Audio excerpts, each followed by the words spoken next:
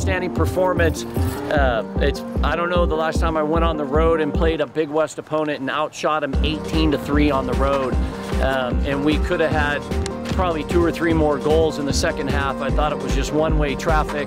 Um, everybody played outstanding from our, our goalkeeper all the way through to our forward line. Uh, Robert Mejia was outstanding, scored a great goal to kind of break their back. Um, I feel like our depth and our, our, our system of play kind of was perfect today.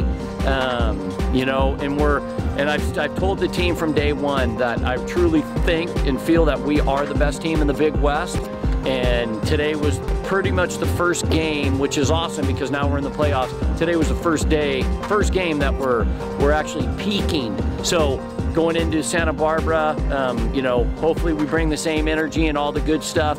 Um, we will be ready to play at Santa Barbara and looking forward to another run at the Big West Championship. Nice. Good job, coach. Thank you.